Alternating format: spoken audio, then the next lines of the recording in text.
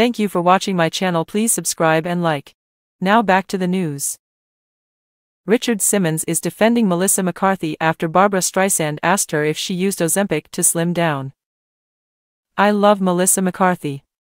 I have seen every one of her movies, The Fitness Coach, 75, wrote on his verified Facebook page Tuesday evening. A famous legendary singer, B.S., made a remark about her weight loss, and was asking if she had used a popular weight loss shot, he continued. What a question. I apologize to Melissa for these remarks. And by the way, Melissa, you look fabulous. Streisand, 83, asked McCarthy, 53, the Ozempic question in a since deleted Instagram comment on Monday under two photos the comedian posted of herself smiling with Hairspray director Adam Shankman. Fans quickly chastised her for the remark, causing her to defend herself on her Instagram story Tuesday.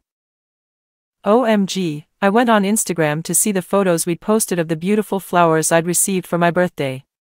Streisand wrote. Below them was a photo of my friend Melissa McCarthy, who I sang with on my Encore album. She looked fantastic.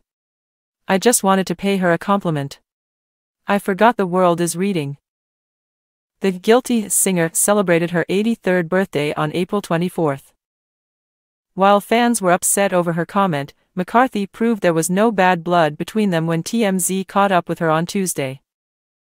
I think Barbra is a treasure, and I love her, she stated. The life of the party star is no stranger to conversations surrounding her weight. She previously opened up about how frequently her body size fluctuates in a 2014 interview with Women's Wear Daily. I've been every size on the planet, she explained. I have experience dressing me as a 6, a 12 and more. Ozempic, a type 2 diabetes drug, and similar medications have been the go-to answer for quick weight loss in Hollywood as of late. Sharon Osbourne, Tracy Morgan, Tori Spelling, Rebel Wilson and Elon Musk are just a few celebrities who have admitted to using such drugs to shrink their waistlines.